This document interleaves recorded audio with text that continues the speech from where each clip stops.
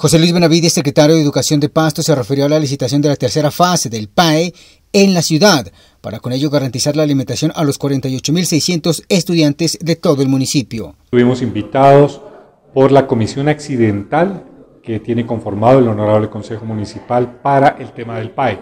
Y en ese tema poder nosotros contarle cómo vamos con la tercera fase ya de implementación del programa de alimentación escolar para nuestras 48 instituciones educativas y nuestros 48.600 estudiantes. Hemos iniciado ya la licitación pública de la tercera fase del programa de alimentación escolar por valor de 17.860 millones de pesos hasta la finalización ya del calendario escolar. Con el fin vamos a garantizar cobertura del 100% de nuestros estudiantes, por una parte, y dos,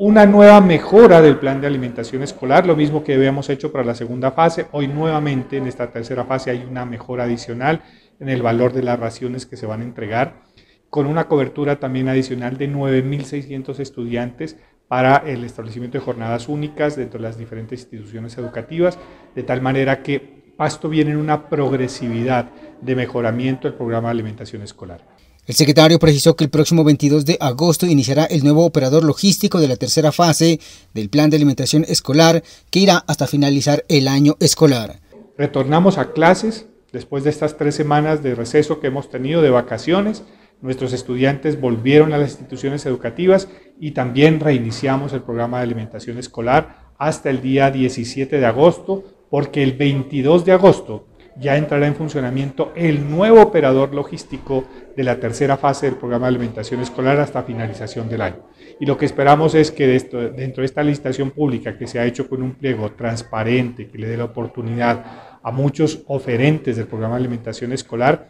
podamos seleccionar aquella empresa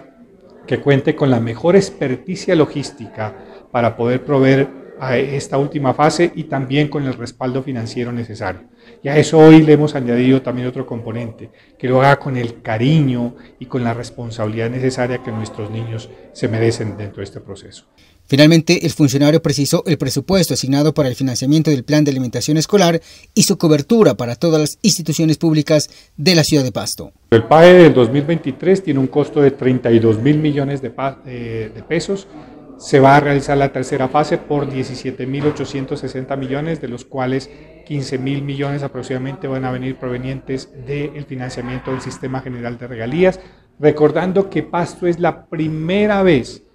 como ciudad capital en todo el país que logra el financiamiento del PAE eh, a través del Sistema General de Regalías. Ninguna otra ciudad capital de departamento lo había logrado en la historia del Sistema General de Regalías y Pasto tiene ese privilegio de tener el honor de ser la primera ciudad que financia su PAE en, una, en una de sus fases a través de, este sistema tan importante de financiamiento como lo de regalías.